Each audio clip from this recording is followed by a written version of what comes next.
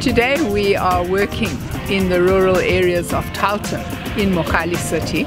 We're working uh, in areas surrounding three informal settlements and we are assisting the, the community here with a major cleanup campaign. One of the problems we have in our country is that informal settlements and rural communities don't have weekly refuse collection. And the consequence of that is what you would see around you here, where we have widespread dumping by the community. And it's been, uh, I think, a considerable period of time since these dump sites were cleared. We're working with the city to, and with the provincial government to set up a sustainable program so that we clean up today and from here there is some process by which there's going to be re regular refuse removal.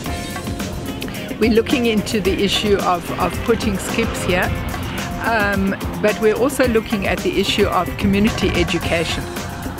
And I've been discussing now with the mayor of Mogale City that if you want to prevent this area becoming a dump site again, would the municipality consider coming and uh, grading it, making um, a playing field here, something of that nature?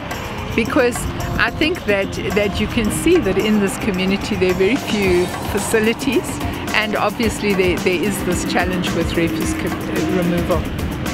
My concern about informal dumping is that these informal dump sites are what are feeding a very serious problem we have in our country of waste, particularly plastic waste and, and um, things like nappies and so on, getting into our water systems, uh, going into the wetlands and ultimately also going into our river systems. And from the rivers, the, this plastic is washing into our oceans. We have just returned from Nairobi in Kenya where we've signed an internationally legally binding treaty to prevent plastic pollution and in particular to prevent plastic from moving into our oceans.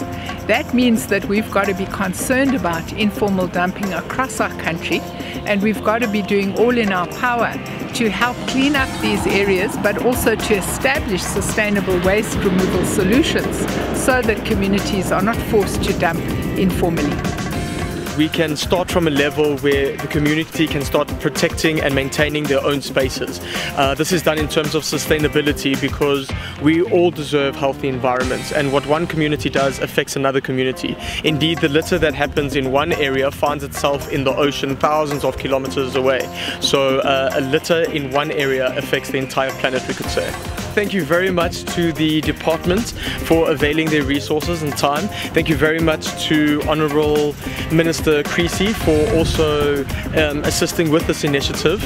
And then thank you very much to the community for taking hands and we look forward to having a prosperous future that sustainably protects the environment for generations to come.